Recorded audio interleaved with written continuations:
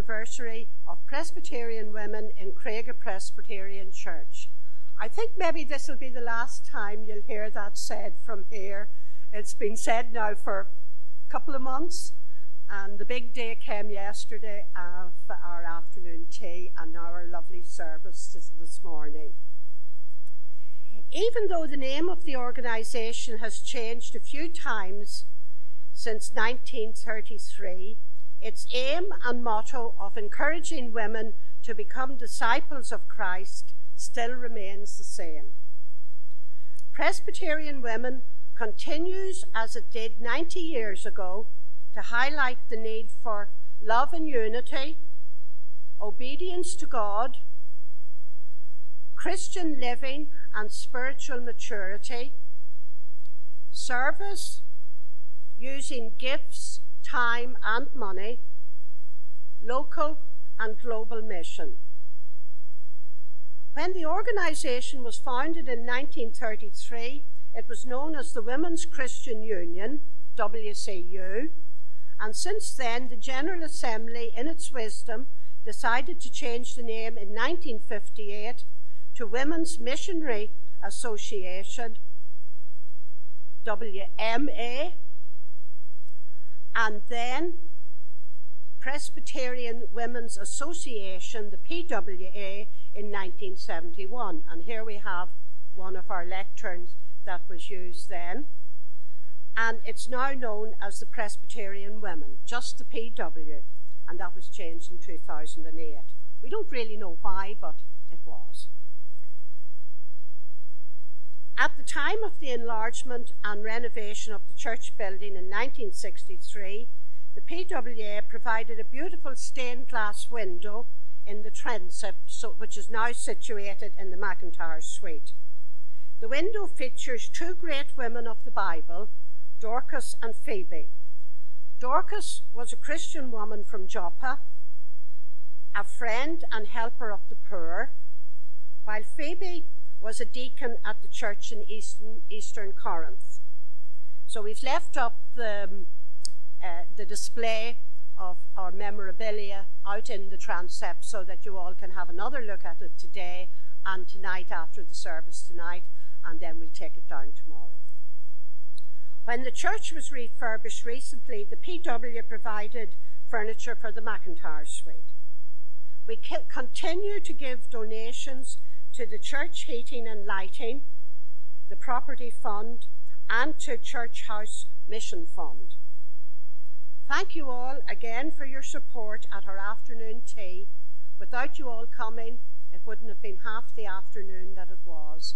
I think we had about 90 people, so it was well, well turned out. So, and please, please continue to support the PW. Thank you.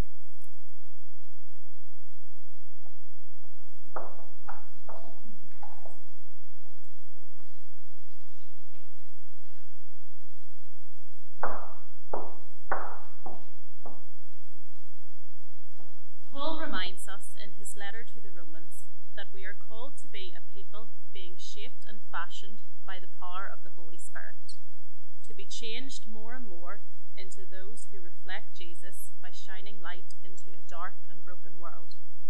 He writes, Do not conform to the pattern of this world, but be transformed by the renewing of your mind. Then you will be able to test and approve what God's will is, his good, pleasing, and perfect will. May this call challenge and encourage us today as we worship and share. Let's pray together. Almighty God, across the ages you have guided your people through the wilderness, assuring us of a home with you. Throughout all time, you have been with your people in the seasons of life.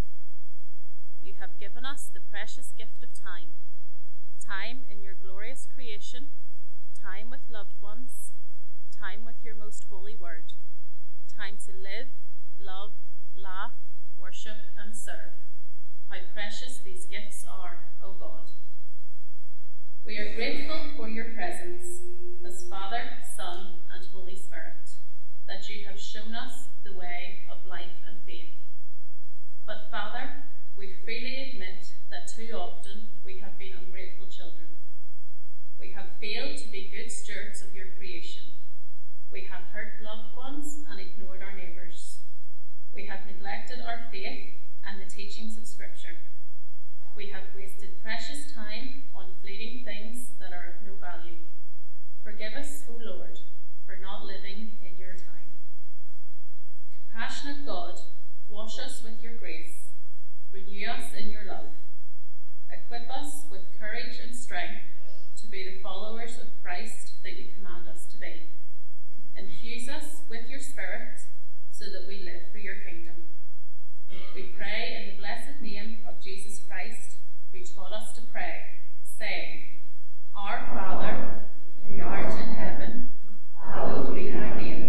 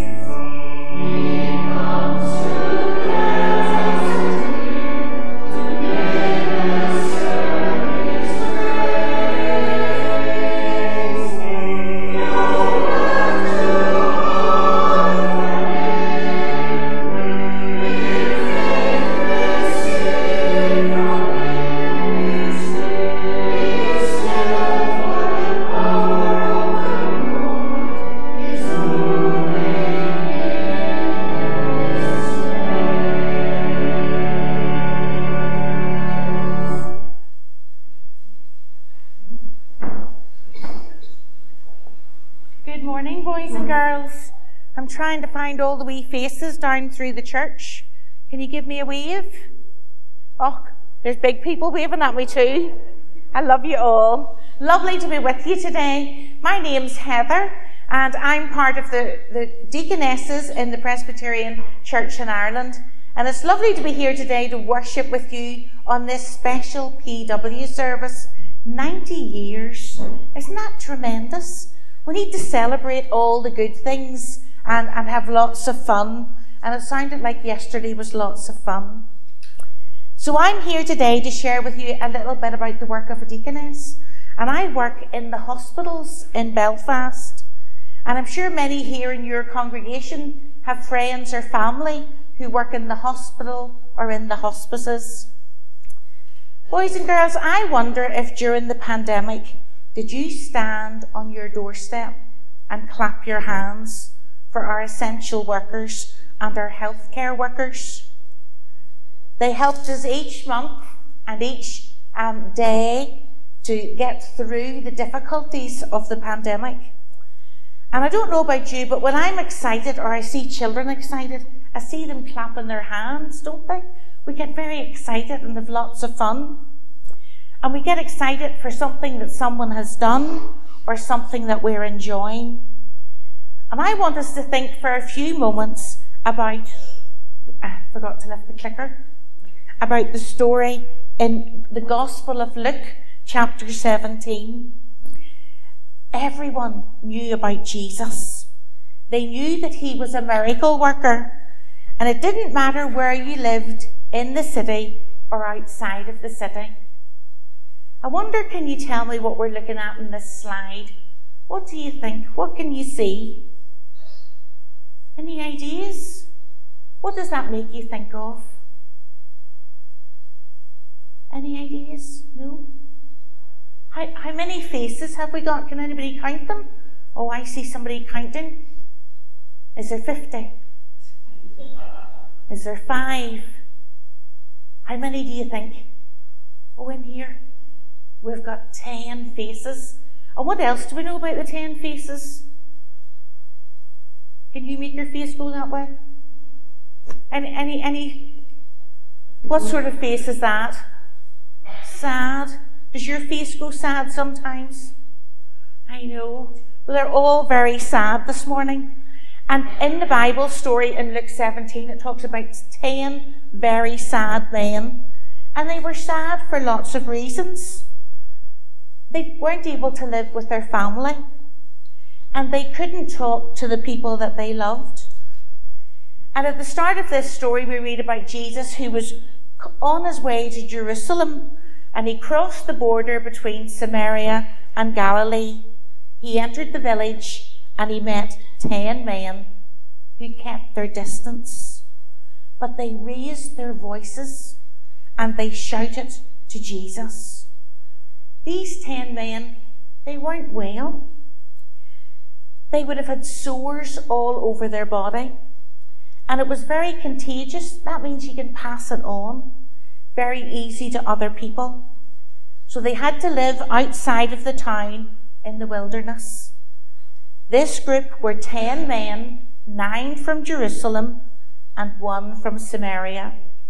And he would have been thought even less important than the other nine.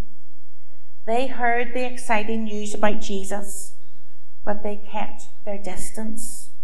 But they shouted out, Help us. And Jesus heard them. They said, Help us. Jesus, Master, have mercy on us. And Jesus shouted out, Go and be clean. Go and show yourself to the priests in the temple. And Jesus walked away, and the crowds followed Jesus. So, what do you think the ten men did? They walked towards the temple. And what happened to their faces? They were all happy. Why do you think they were all happy? because they were completely well, completely healed again, completely cured. And one of the ten men jumped for joy and he ran back to Jesus and he said, Thank you. Thank you. I am healed. Praise God. Thank you. Jesus asked, Were not ten people healed? Where are the other nine? And we learn from this story that Jesus loves a thankful heart. When somebody does something nice for you, I hear lots of wee boys and girls and mummies and daddies saying, Thank you. And it always makes you smile when you hear that. Or sometimes, whenever you forget, your mummy will say to you, Now, what do you need to say? And we do forget at times. Our story this morning shows us that Jesus has a real heart for people. And we've known a little bit of what it's like to stay away from our friends and family. And we know what it's like at times to feel that Jesus is far away and we want to shout at him for him to hear us so that he hears our thoughts and our feelings. But our story today reminds us that Jesus cares, Jesus hears, he listens, and he makes a difference. And he wants to hear from us. So we give thanks today that we can come to church to hear about God, to talk to God, and to look out for each other. And we give thanks today that Jesus loves us and watches over us. And we can clap our hands because we're joyful, because Jesus listens and answers, and He puts good things in our lives. We thank God today for our homes. We thank God for our food. We thank God for our families. And we thank God for our health. We thank God for Jesus. And we thank God for things to celebrate birthdays and PW and family and church family. We rejoice together that Jesus hears and answers our prayers today and he can transform our hearts and our lives from being sad to being happy and to being content because he loves us. We're going to sing your hymn, which is hymn number 349. Jesus' hands were kind hands. 349.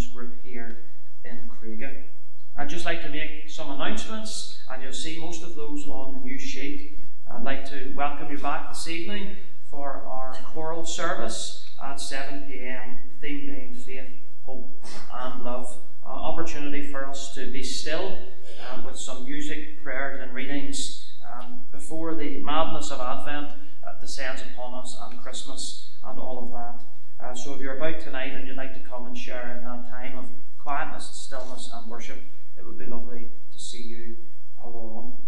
I'd like to also invite you to stay behind the service today for the coffee bar in the Allen Hall. Uh, please do stay if you can to enjoy that time of fellowship and refreshment. And also, if you haven't had the chance already, to have a look at some of the memorabilia and some of the display that Robin has mentioned out in the McIntyre Suite, please do that uh, before you head off today. Uh, again, I would just like to echo the thanks that has already been given uh, by Robin at the start of the service for everyone who was involved in the coffee afternoon yesterday, uh, for, for the music and for the opportunity to be together was a real blessing. And I would like to echo uh, the thanks that have been given uh, to all of those who worked behind the scenes to put that together, and not least Robin herself. And also uh, for all the work of PW across the congregation throughout the years. Again, we would want to continue to echo that uh, gratefulness and support. Um, it's great to have Heather with us today, and uh, we look forward, Heather, to what you're going to share with us, and we appreciate what you've shared already. And it's a real blessing that you're here with us today and you feel at home uh, among us. Um, I'd also like to just uh, uh, set out here that the retiring offering today after the service is in aid of, of PW mission funds and loose offering towards the PW as well. Uh, then this week on Tuesday, the Blobs will meet on Tuesday at quarter to ten in the McIntyre Suite, morning watch at quarter to eleven in the session room, and Bruce Brothers Men's Group at twelve thirty uh, again in the McIntyre Suite. Tea and Talk is on this week on Wednesday at two pm, and all are warmly welcome to that as well. At next Lord's Day, we gather at the normal time of 11 am, where we'll have the opportunity to think about Development Appeal, and uh, we look forward to hearing about that. And then our next prayer and Bible study will be next Sunday at 6:30 p.m., where we look at the Gospel of John together. If you look down the list there, you'll see a number of upcoming events uh, throughout the season of Advent and Christmas. Uh, of course, we're delighted to have again this year our carols in the car park, which will be at 4 pm on Sunday, the 10th of December. Pray that it's dry um, um, and that we have a good response like we did last year. It was a real success and we felt really blessed with it last year, so we're looking forward to that again this year. Uh, leading up to that, last year we did some door to door work in the area uh, with the Salvation Army and the Methodist Church and ourselves, kind of splitting up the area into three zones and doing a bit of door to door work to invite people along to that service. I'm hoping to go out to do that uh, next Lord's Day at 2 pm. Uh, and if anyone would like to come and join in with me, uh, we had a wee team last year. You'd be more than welcome to do that. Um, we don't really spend an awful long time because even though you get loads of invitations printed, it's amazing how quickly actually um, they they are got rid of, and they don't ever go as far as you think they're going to go. Um, so uh, it's certainly not something that's going to take all afternoon. Uh, an hour or so would, would do a lot. So if you're about next Sunday and you'd like to come along with me, it would be lovely to share that with you. And then just a couple of things to highlight on the upcoming dates, and that is you'll see there on Wednesday the 6th of December that Willowfield Funeral Homes, just down the road from us, have asked if they could host their annual remembrance service here in Cregagh this year. So each year, Willowfield have a special service where they allow time and quietness for people to come uh, and to remember their loved ones that have passed away in that year. And, and they've asked, as I say, to host that service here this year. It's a lovely opportunity for us to do this for the local community, uh, and it's open to anyone to come along to, not just those uh, who will be uh, invited by Willowfield. So that's what that is, just in case you look at the upcoming dates and wonder uh, what that service is all about. And then also just to explain on Sunday the 31st of December, uh, we are going to have a combined uh, last light service with the Methodist Church and with the Salvation Army, where um, down there at 4 p.m. in the Methodist Church, we'll have time to usher in the new year and also to take time to remember those families who have lost loved ones from those three congregations uh, in uh, the year that has passed. Giving to God um, all that has been challenging in the year and praying for His blessing and encouragement for the new year that will come. So that's what that's about as well. And finally, then, just on the back, to remind you about the Christmas workshop, and Maureen has asked me to announce that that Christmas workshop is now full. So thank you very much for all of those people who came forward, um, and uh, I'm sure Maureen looks forward to sharing with you uh, at that time, making those door slides and door wreaths. Uh, the money, of course, going to the worthy cause of Emmanuel Ministries in Calcutta. Uh, so they are all our announcements, and we now still our hearts and our minds to hear from the Word of God.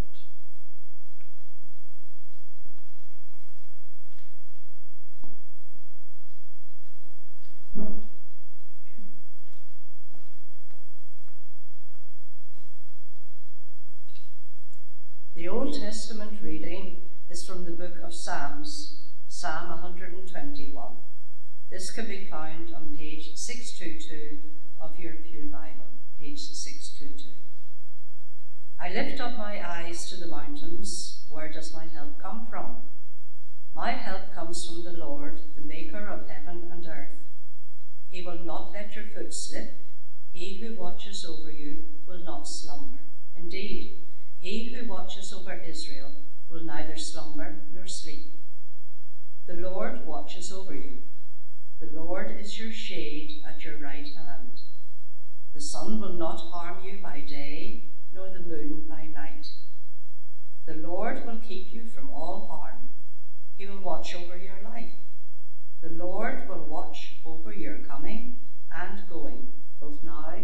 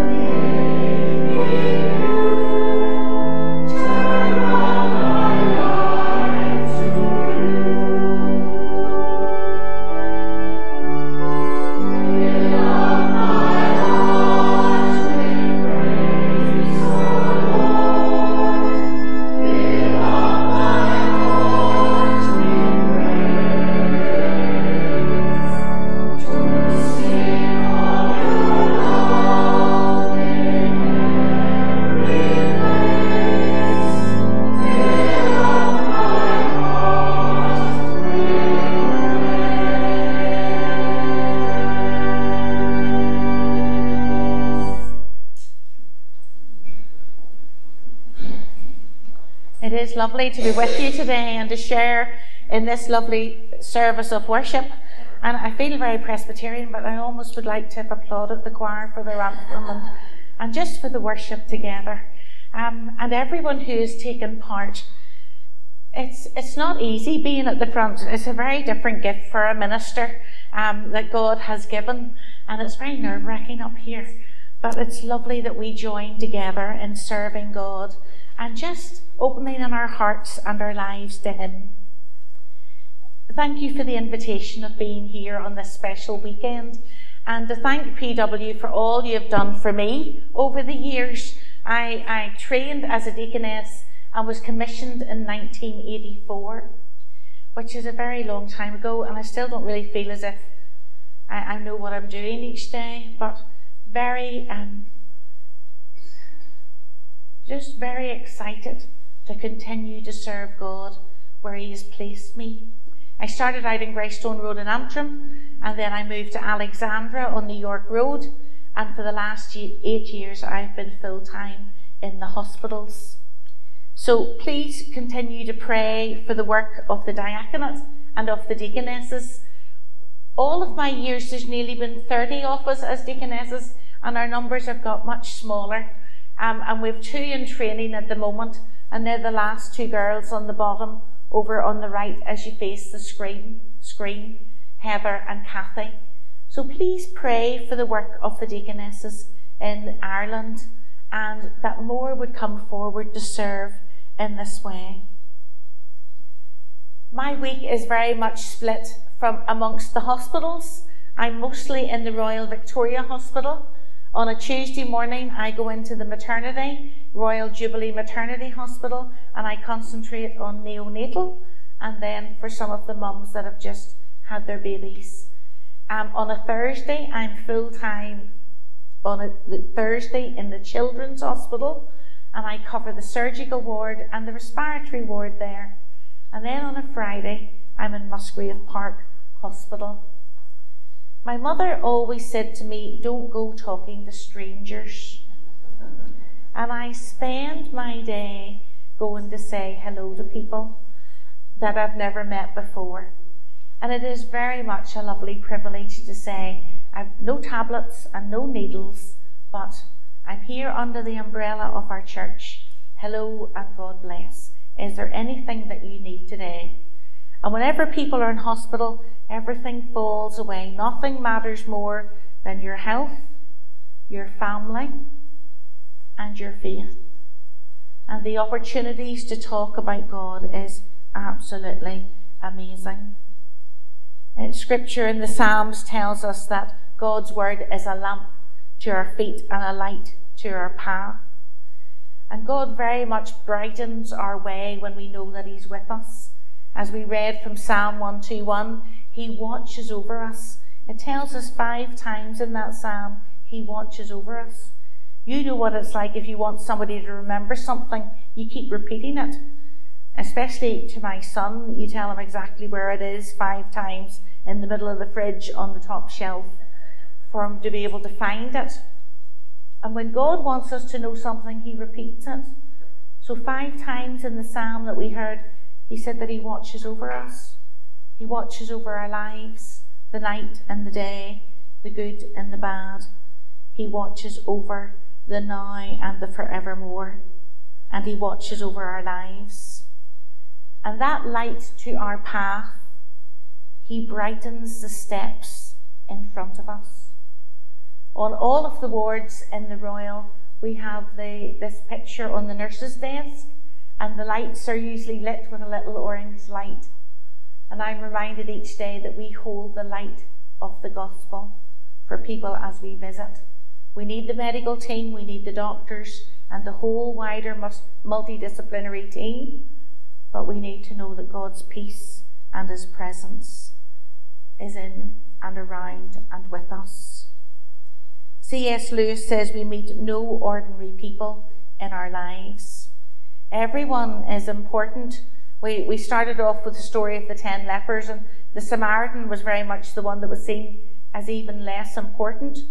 And, and one of our doctors was explaining to our little daughter what a VIP was, and she draws little pictures and she drew these pictures of lots of people, tall and small and fat and thin and old and young. And she put above each one's head VIP, VIP, VIP. And the little girl said to Mummy, But why do people need to be different? Every one of us is vital and important and precious to God, whether we're two seconds old or I was with a lovely lady in Musgrave at 105 Every day is precious and special and a day to share God with others. During the pandemic, there was lots of ways that people said thank you as we clapped our hands. The ice cream van came to children's, pizzas arrived to the wards. But can I encourage you to continue to pray for our staff? Our hospitals are bulging at the gills. I joke that we'll go in and there'll be bunk beds someday. But the other day when I came through the emergency department, one cubicle in ED that should have one bed had five people on chairs. And somebody was being sick and somebody was getting a transfusion and but every person was being seen. But that's not just one day. As I came through the children's hospital the other week, the two nurses at a quarter to five hadn't had their lunch. And that's not just one day, it's continually. So the, the hazard warning lights are on and uh, the batteries are very flat. So please pray for our doctors and nurses and all that they do. And pray that our hospital continues to, to have the facilities and the supplies that it needs to help people. Because if we need a hospital, if we need a doctor, we're very thankful for all that they can do and do, and all the tests and procedures that they can do to check. In the past years, I've been very thankful for our PPE, and I've put a lot of faith in our alcohol gel and our, um, our visors and our masks, and still very thankful for vaccines and, and for all that we have. But I'm also very aware that it's God's armour that He provides for me each day. He, he provides it. It's made of the best equipment and the best quality. And it's what I need for each day as I step forward to serve in the hospital. We put it on, we don't carry it with us. And it's our Almighty God who provides it for us. Each piece has a purpose and a function. And it's prayer that activates that armour. And I've known the prayerful support of the churches that I've been in and churches throughout our country that, that pray for the deaconesses and for the PW who pray for the work of the deaconesses. I give you thank give thanks for that because there's many a day you don't know the next step, the next face, the next call out.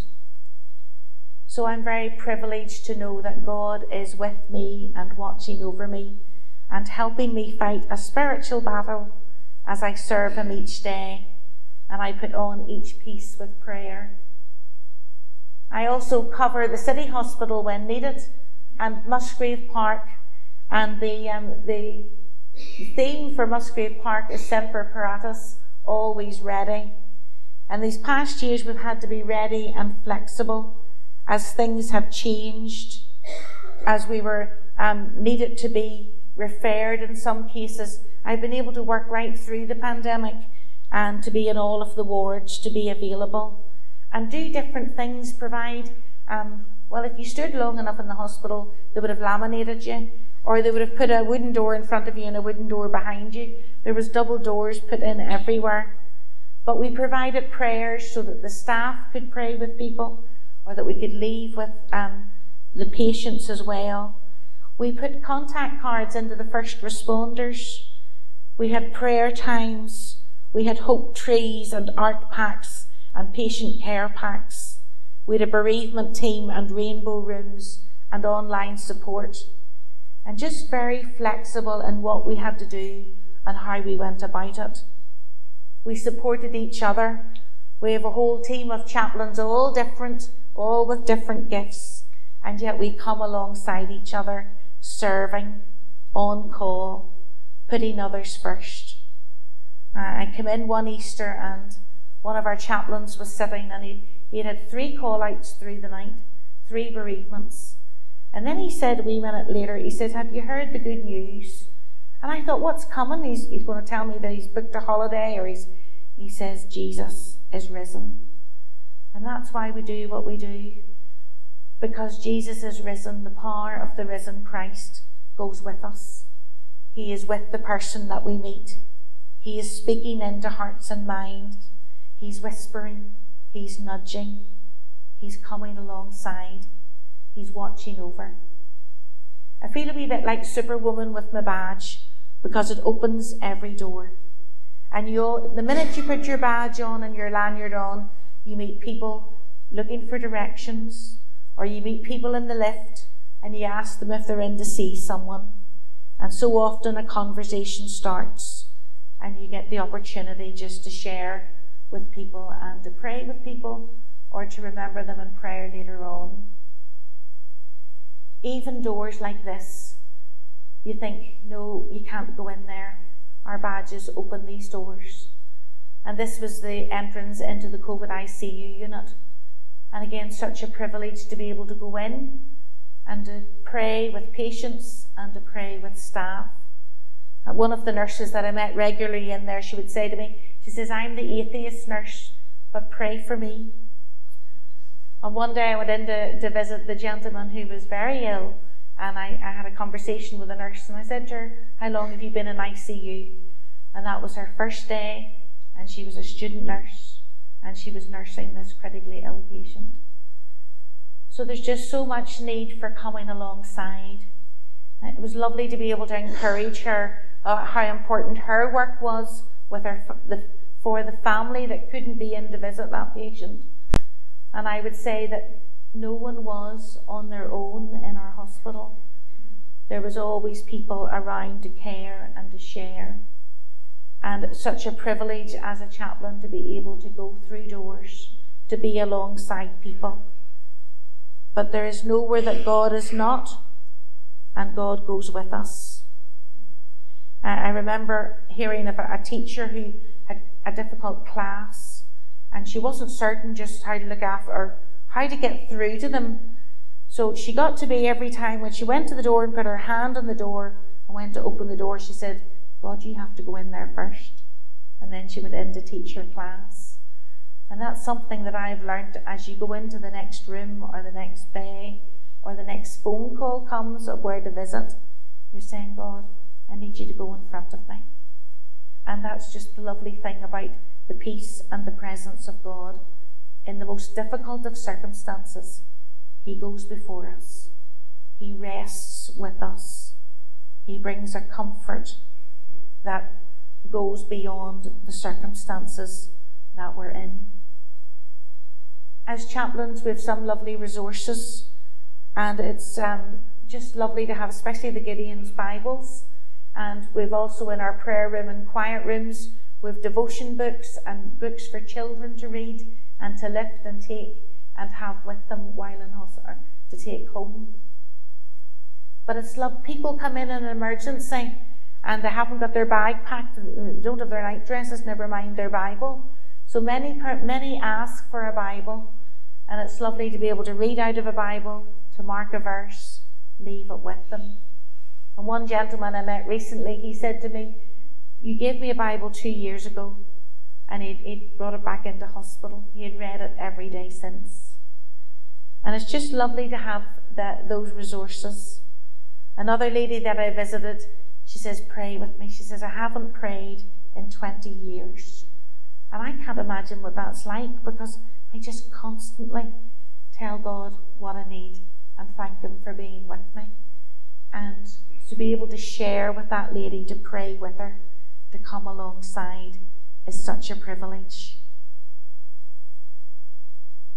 Last couple of Christmases, we, we do carol singing outside the different hospitals.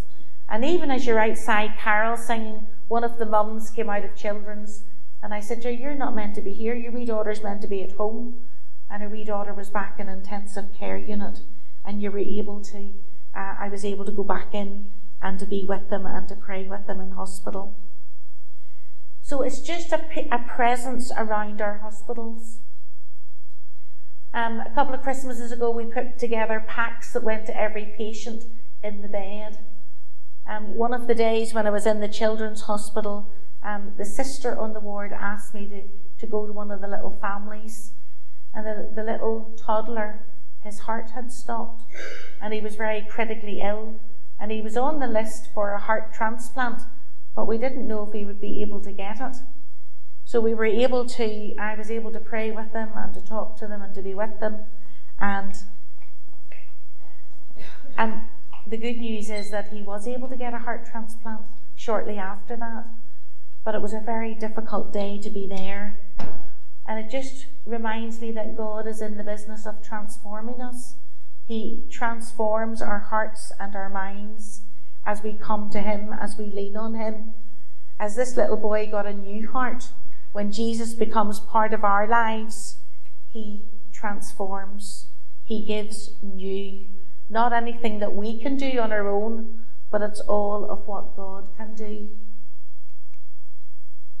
I also visit when needed in the um, the heart wards and the oncology wards, and in children's we have a lovely prayer room and quiet room. Please pray for this area. It's very special. Um, lots of families and children find it to come and sit and pray and take time to write prayers in the book and to lift books to colour in. And it's just a very special place in the hospital.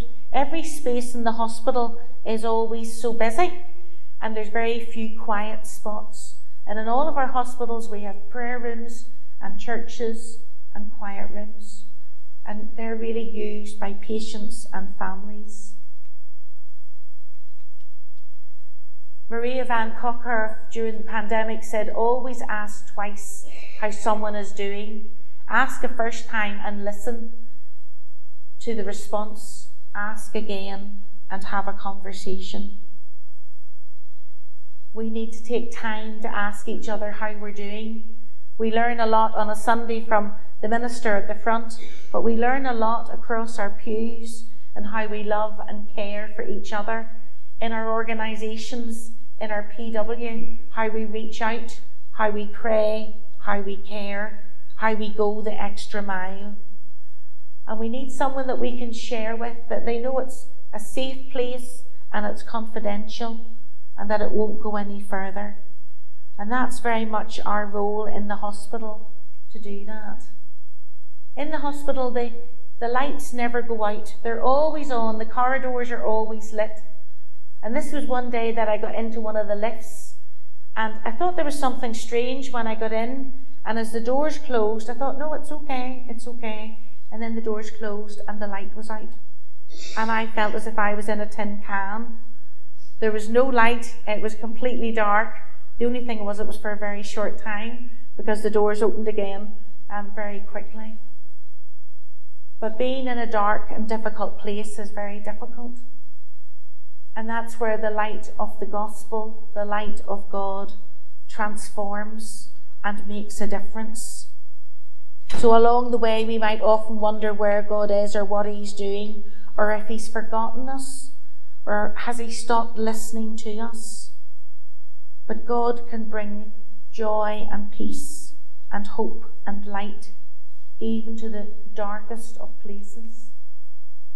This is the door into the church in the royal and the old corridor, and the number of people that come and sit and pray. When I meet people, I look on the outside, but we know that God looks on the heart. And I'm always challenged not to judge. Um, it's very easy to think somebody will not be interested or not want to know. And I, I remember going to the bedside of a, a young man in his 20s, covered in tattoos, and as I approached the bed, there was um, other staff with him, and I thought, well, uh, I'll go away and I'll come back later. He might not be too interested in me anyway. So anyway, I came back again, and the same thing happened, and I went away. And when I came back the third time, there was nobody with him. And he was the most beautiful Christian with two little ones of a family and just needing encouraged. And I'm always challenged not to judge either by what somebody is saying or by how they look. One of the days in the city hospital, I, there was four beds, and the other I was with the other beds, and this fourth bed had the curtains round, and I was with having conversations and had prayed with some of the other ladies. And out from behind the curtain, there, there was lots of staff in there too. But this voice came out over the curtain Don't leave the ward without praying with me. And I said, okay, I'll not leave. So there's nothing private in hospital. Everybody knows everything right across the wards. But it's such a sacred spot whenever you go in to be with someone. You forget all that's going on around, and it's just you and them and God with us.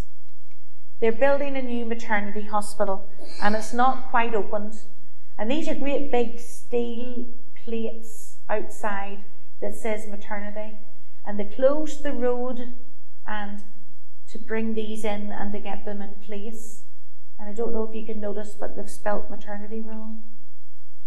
All that work And well, they said it wasn't a mistake at all, that the tea was there, but it took months before it turned up and it got into place, and it is there now.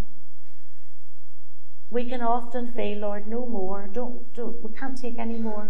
This can't be right. Our family's been through enough. And we have to hold on. We have to hold on and watch God in the waiting and how He helps and how He makes a difference. One lovely story is of, oh, this is, this, sorry, this wasn't in my slides down here. This is neonatal. On a Tuesday, I visit maybe 20, 25 wee families. And one little one that I visit the other day is over 90 days old and he's still not at his due date. And it's absolutely amazing how precious life is and what the hospital can do and how they help little ones. Such a privilege to meet these little people and to be with their mums and dads. But a very challenging. And PWs that knit. I don't know that if you've ever bought a, a baby hat for a neonatal baby, well, if you bought a normal baby hat, the whole baby would fit in it. So these wee hats are so, so tiny. And this little cardigan has got a little Jesus loves you on it. These are provided often by PWs and given out on the wards and what that means to families.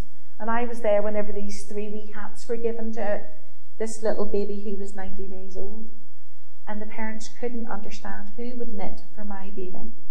And it was just such a lovely opportunity to say these are knit with love and prayer, and that God blesses the small things to, um, to help others. Our daily bread. We need our spiritual food in, in hospital as well. And it's often so difficult to concentrate, and yet God just turns up and He helps us. This is one of the stories I wanted to share with you. Was uh, I came home from work one day just before Christmas, and I got this phone call to say there's a box in the office for the chaplain from a Presbyterian church. So they thought that might be me. So I said, okay, what's in the box? Didn't know. I said, open the box. So opened the box and there's all these envelopes. I said, what's in the envelopes? I said, open the envelope. I said, take a photograph and send it to me. So inside he opened one envelope and a little card drawn by a young child, and then inside the card was a tea bag. And the only thing in the, the other side of the box was um, a phone number. So I phoned the number, and it was a church, and it was to do with the Girls' Brigade, who months and months before had done all of this. And they'd no idea where the box had gone, where it's been, what had happened, but it got to me the week before Christmas. And the, the question was, would I take it into the the ICU wards? And I said, Yes.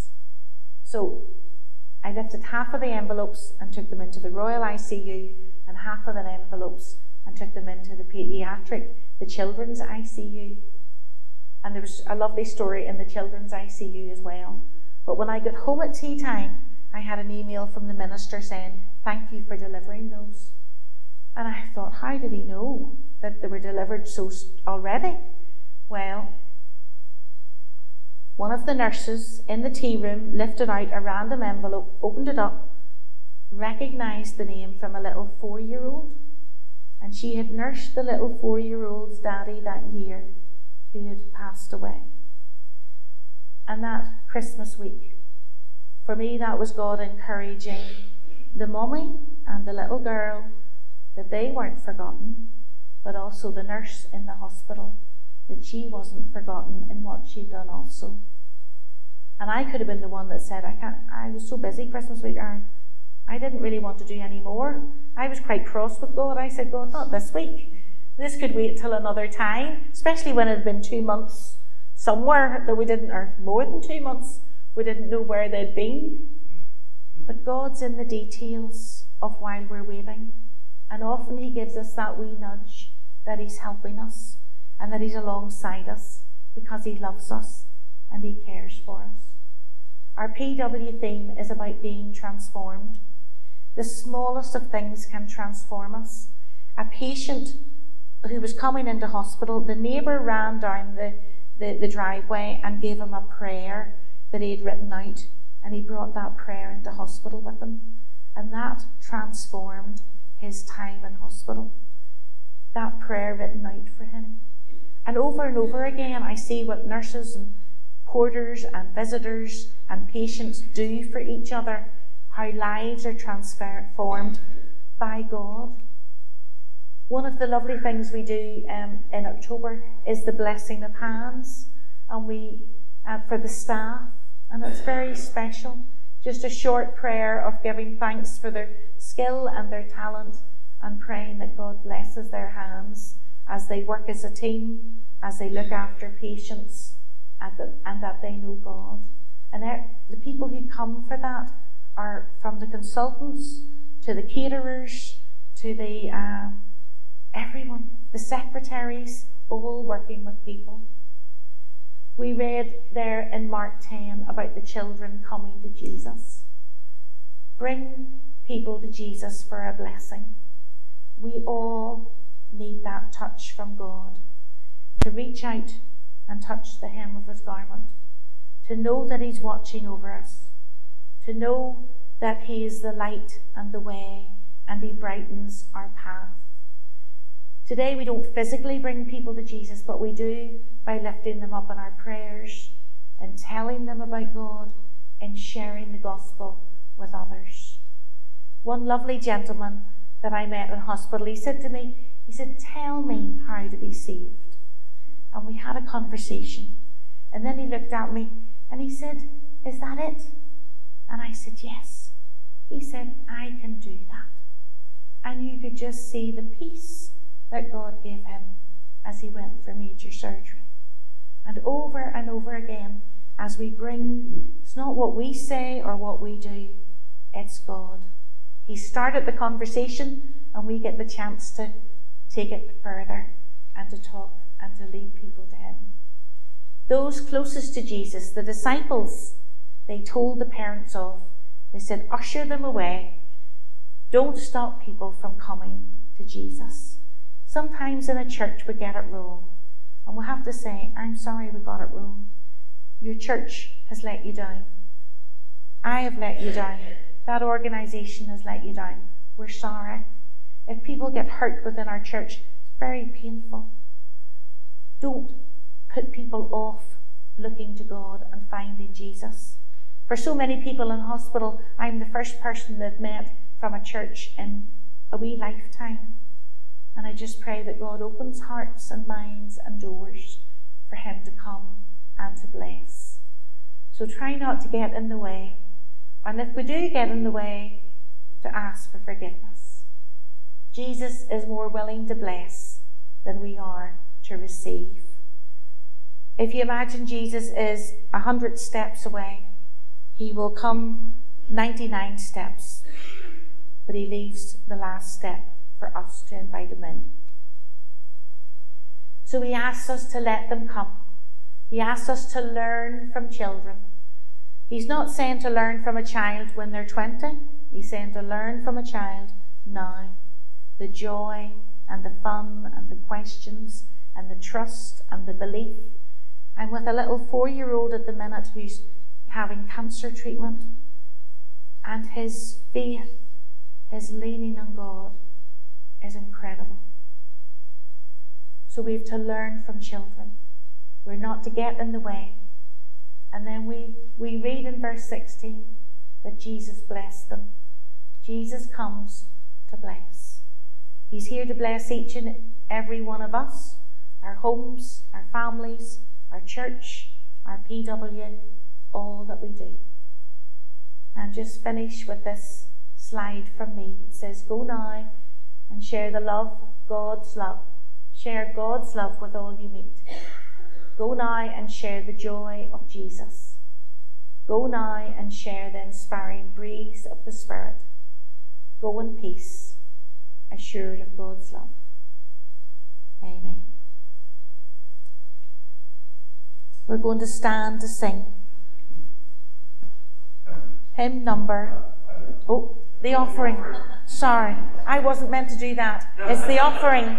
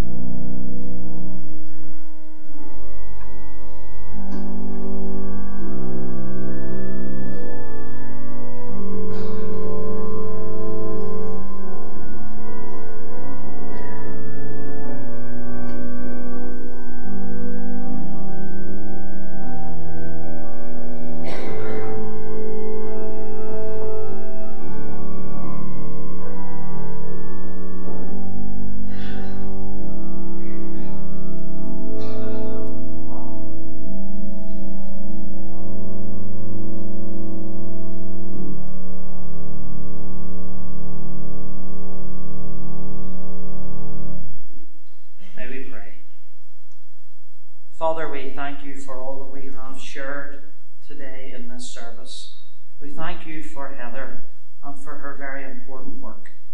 We pray, Lord, that you would bless her and bless the people that she has the privilege of working alongside each day. Thank you for her reminder that each day is different, but our call is the same to live for Jesus wherever you would send us. So, Father, we pray that this offering would be a representation and a demonstration of that desire, that we would go from this place as your people, and that we would have the song of the gospel in our hearts. We ask, Lord, that you would take this offering and use it for the work of your kingdom near and far, and that many would know of Jesus and his love. We ask that the grace of that same Jesus, your love which is steadfast and eternal, and the fellowship of the Holy Spirit would be ours this day and indeed forevermore. Oh.